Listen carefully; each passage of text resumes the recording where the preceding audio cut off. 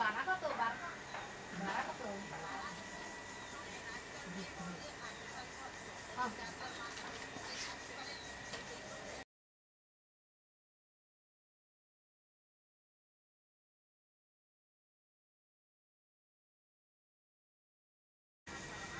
করতে কারণ পাথর দেখলে সবই বেড়ে যায় একটু